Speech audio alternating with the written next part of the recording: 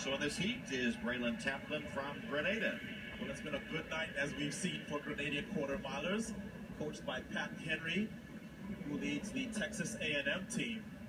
Look at the focus. He is on your marks, really making sure that he is. I'm dying to know if anyone has told you about this in your college days in Major League Baseball. According to some of the players in the Beavers dugout, what Jorge Reyes was doing with tapping was he was just kind of realigning the energy and so forth around as they were he was told actually like a psychologist or consultant came in and spoke. It's kind of like a holistic approach kind of realigning the energies. Aaron i've never heard of it but you know what i was about to say before you went to this that there's got to be a good reason. Yeah it helps you get focused relaxed kind of center yourself holistic if you will. Mm -hmm. well if you're doing that with furniture it's called what? Feng shui? So this is feng shui for your face? Possibly